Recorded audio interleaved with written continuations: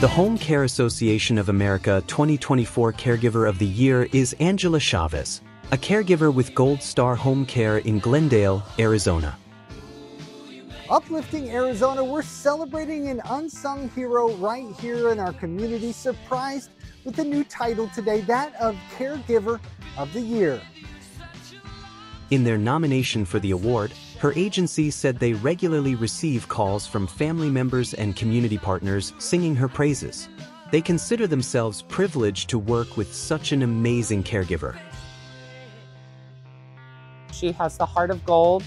She has so much patience and empathy. She's caring, um, she's gentle, she's sensitive. Good morning.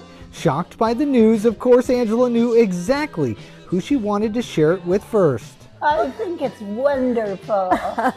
For two and a half years, she's been at the side of Patricia Gitzinger, a senior living in Goodyear facing a diagnosis of dementia.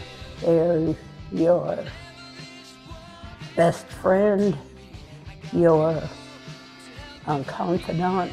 Patricia says she is able to live her most fabulous life in her beautiful home because of Angela, who on many occasions has spent holidays there with her, or even suggests she invite neighbors or friends over. Angela assists her in preparing snacks or lunches so she can be the host, which Patricia loves.